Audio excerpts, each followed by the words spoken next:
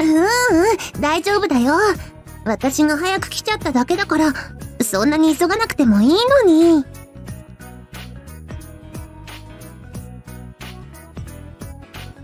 君のこといっぱい考えながら待ってたから、すごく楽しかったよ。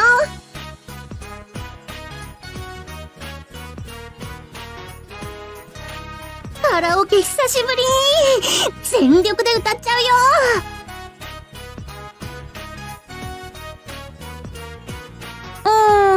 最後に友達と行ったのって、もう10日くらい前だよ。ずいぶん歌ってない感じ。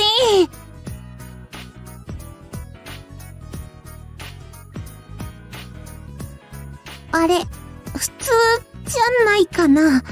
みんな1ヶ月に4、5回は行くと思うんだけど。な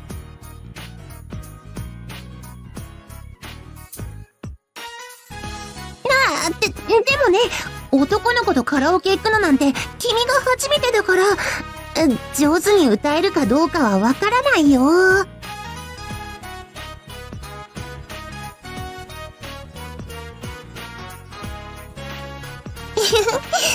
そう言ってもらえるなら、頑張っちゃうね。それじゃあ、えー、っと、早速歌っちゃいます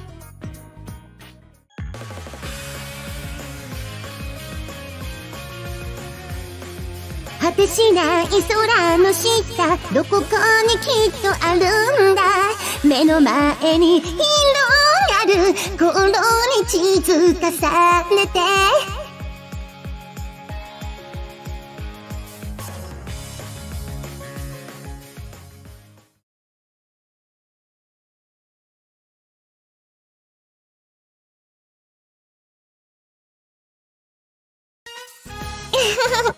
どうだったかな？君の前だから結構ドキドキしちゃったけど。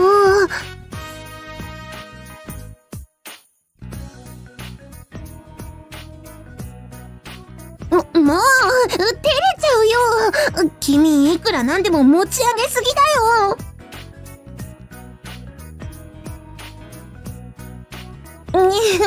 大げさだな。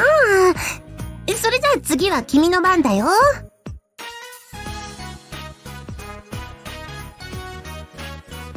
そんなことない。私、君の歌だったら絶対感動するもん。聞かせて聞かせて。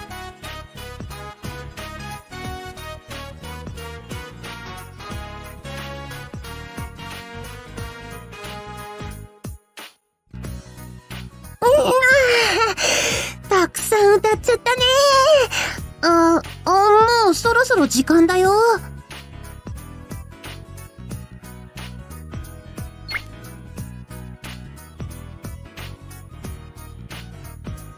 うん、賛成。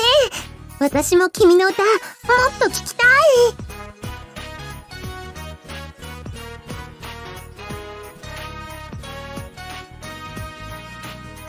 楽しい。まだまだ歌えるなんて夢みたいだよ。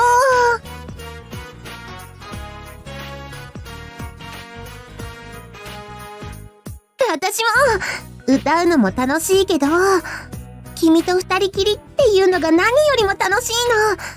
二人きりで大きな声が出せるなんて、幸せ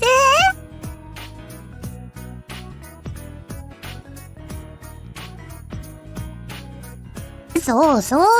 ちょっと特殊な場所だよね、カラオケって。女の子同士でも結構秘密の話したりするよ。ぬ、内緒だよ。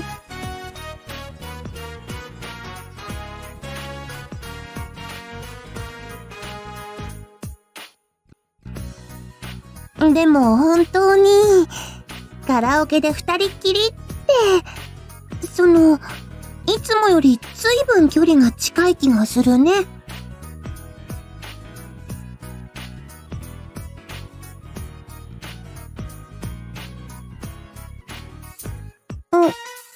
うしたの？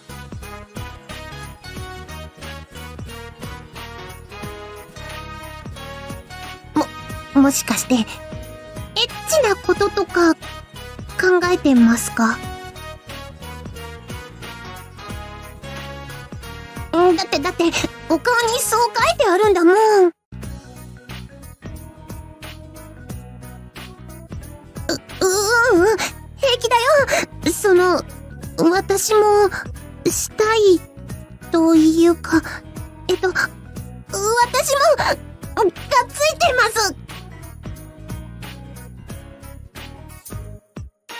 恥ずかしいけど、私もしたいから、君の好きなようにしてください。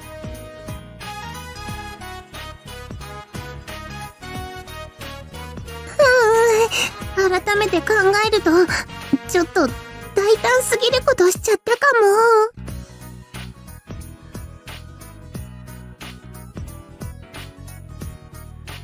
も。うん、うん、大丈夫。私もそういう気分になっちゃうもん。一緒だよ。君がしたいって思うときは、私も一緒なんだ。